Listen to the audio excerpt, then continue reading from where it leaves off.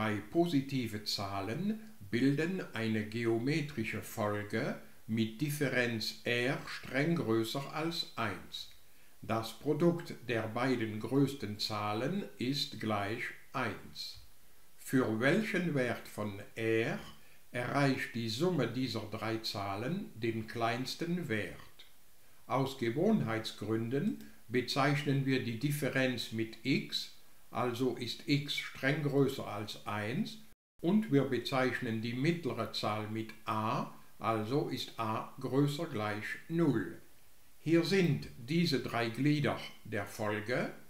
Die mittlere Zahl ist a, die Zahl links ist a geteilt durch x. Wir sind sicher, dass x nicht 0 ist, denn x ist streng größer als 1.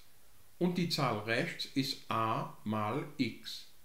Wir wissen, dass das Produkt der zwei größten Zahlen 1 ergibt, also ist a mal a mal x gleich 1, woraus wir schließen, dass a 1 auf x ist.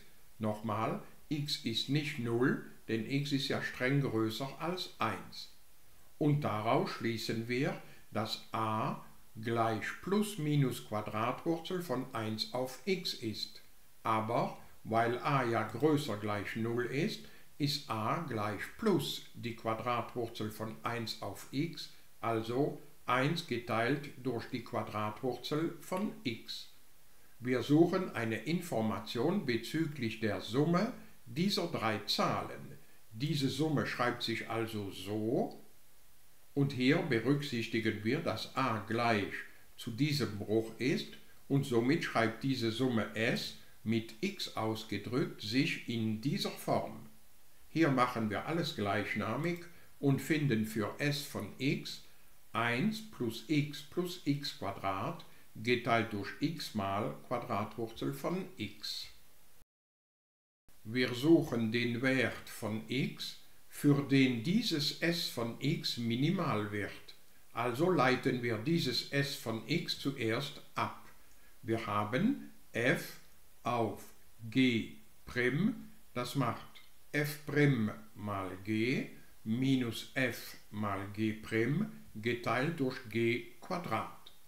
Wir sehen, dass wir im Zähler Quadratwurzel von x ausklammern können. Vorsicht mit diesem Nenner 2. Wir müssen auch den ersten Term auf 2 bringen, also wird er oben mit 2 multipliziert so führt das s' von x zu diesem Bruch, der sich dann schnell zu diesem Bruch vereinfacht. Jetzt machen wir von s' von x eine Zeichentabelle und dazu brauchen wir die besonderen Werte. Da ist es die 0, da auch und hier haben wir ein Trinom zweiten Grades.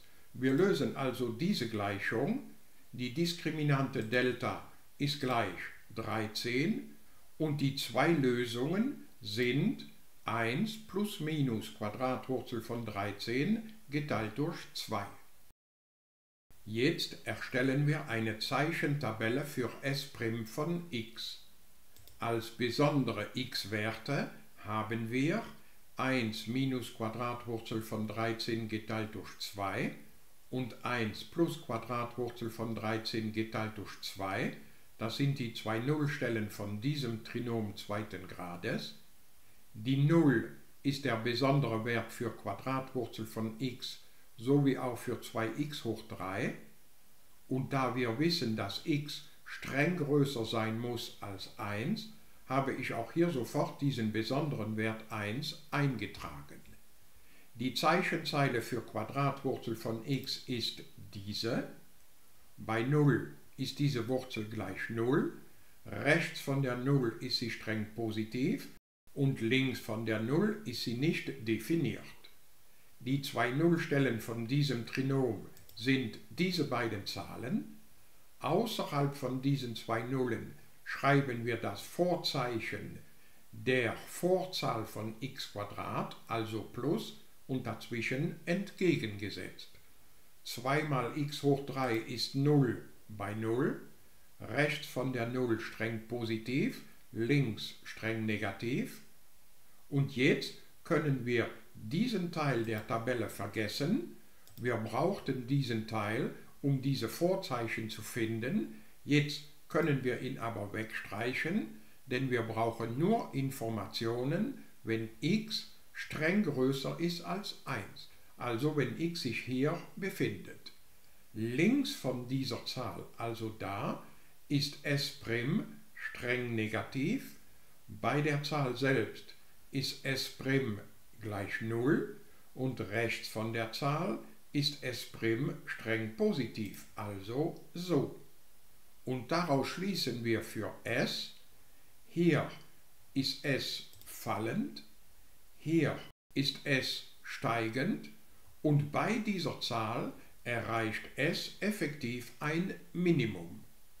Jetzt beantworten wir die gestellte Frage und ersetzen das x wieder durch r, das heißt, die Summe s erreicht ein Minimum, wenn r gleich 1 plus Quadratwurzel von 13 geteilt durch 2 ist.